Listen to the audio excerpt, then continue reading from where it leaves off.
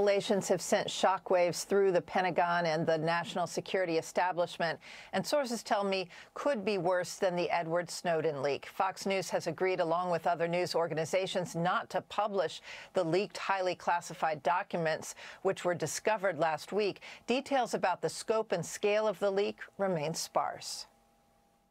Do you believe the leak is contained? Are there more documents out there that have not been released publicly? Is this an ongoing threat? We don't know. We truly don't. Main Austin was first briefed on the breach last Thursday morning when the photos were first discovered online.